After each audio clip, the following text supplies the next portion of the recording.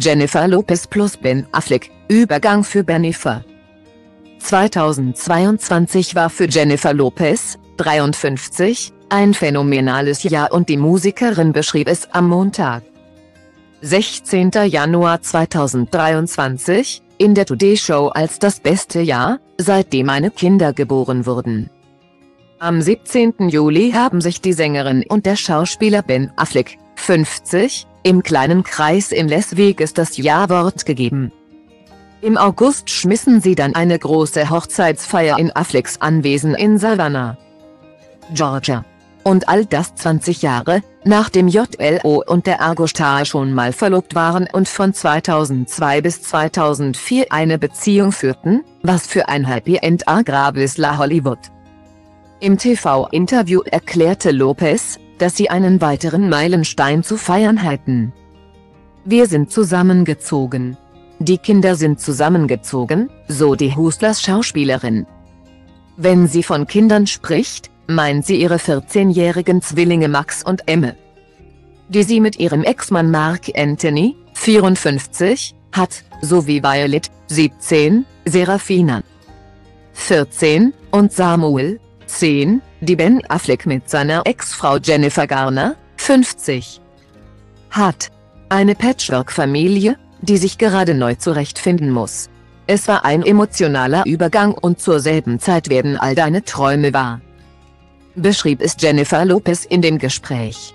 Der Übergang ist ein Prozess, den man sehr vorsichtig tätigen muss. Sie haben so viele Gefühle. Sie sind Teenager. Aber bisher läuft es sehr gut. Was ich in unserer Familie kultivieren möchte, ist, dass seine Kinder in mir eine neue Verbündete haben und dass meine Kinder einen neuen Verbündeten in ihm haben. Jemanden, der sie wirklich liebt und sich um sie sorgt, aber der eine andere Perspektive haben und mir dabei helfen kann. Dinge zu sehen, die ich nicht sehen kann, weil ich bei meinen Kindern so emotional involviert bin. Der Rosenkrieg zwischen Sängerin Shakira, 45, und Fußballspieler Gerard Pique, 35, scheint mit dem kürzlich veröffentlichten Song der Zweifachmutter in die nächste Runde zu gehen. Mit Zeilen wie, du hast einen Ferrari gegen einen Twingo getauscht.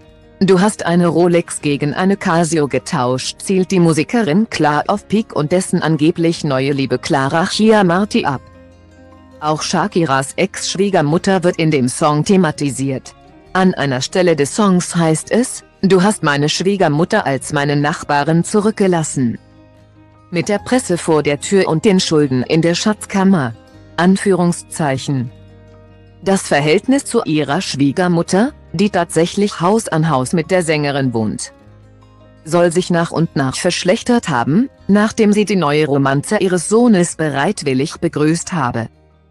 Eine lebensgroße Hexenpuppe, die seit neuestem den Balkon der Sängerin ziert und auf die Wohnung von Peak Mutter gerichtet sein soll.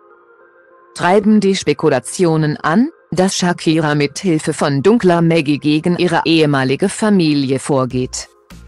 Gleichzeitig haben Anwohner, innen davon berichtet, dass Shakira den Song, dessen Text auf Pikes neue Freundin abzielt, in voller Lautstärke aus ihrem Haus geschmettert hat. Bei ihren Fans scheint die lebensgroße Puppe zumindest gut anzukommen. Sie nehmen die jüngste Retourkutsche der Sängerin mit Humor. Eine Person äußert sich via Twitter, ich habe keine Ahnung von Promi-Klatsch. Aber wenn ich euch sage, dass ich für diesen Shakira Peak Rauch lebe. Shakira hat offenbar eine Hexenfigur auf dem Balkon vor dem Haus ihrer Mutter. Weiter so, Mädchen. Anführungszeichen. Sie haben News verpasst, die Hollywood News der vergangenen Woche lesen Sie hier. Verwendete Quellen, Twitter.com, usmagazine.com